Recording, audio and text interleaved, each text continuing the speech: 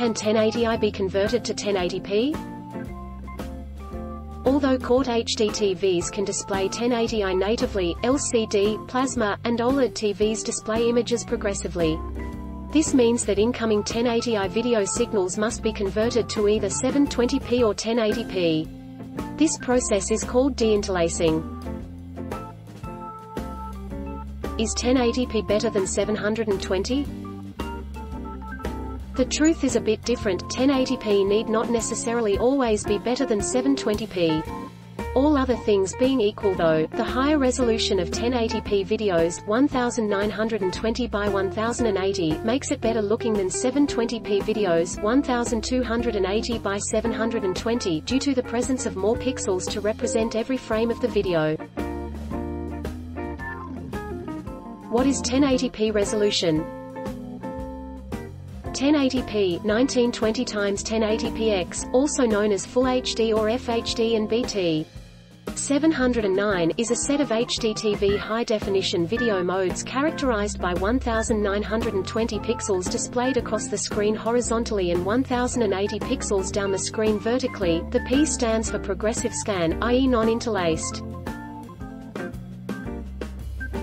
Does anyone broadcast in 1080p?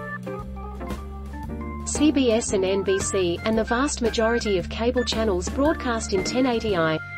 That's right, even in 2021, most broadcasters will not be broadcasting in 1080p, much less 4K. But what about cable and satellite, they use 1080p, right? Well, for pay-per-view event, sure. Is 1080p better than 1080i for gaming? The key differences are, 1080p progressive scan mode may appear to be sharper, and fast-moving action can be easier to watch. This mode is used for Blu-ray discs and some games consoles, and is known as Full HD. 1080i interlaced mode may appear to flicker or blur more during action scenes or sports. What is better HD or 1080p? 1080p is considered an HD resolution.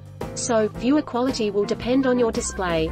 If your display is 32 inches or even 40 inches, you may not be able to distinguish between 720p and 1080p content, but for larger displays, 1080p content on a 1080p TV should look better. Can you tell the difference between 1080i and 1080p? The difference between these two resolutions, however, is in the way the images are displayed. The letters I and P refer to the display mode used, 1080i refers to interlaced, and 1080p to progressive scan. 1080i uses an interlaced display, whereas 1080p features progressive scan display. Don't forget to subscribe and hit the bell notification for more of these videos.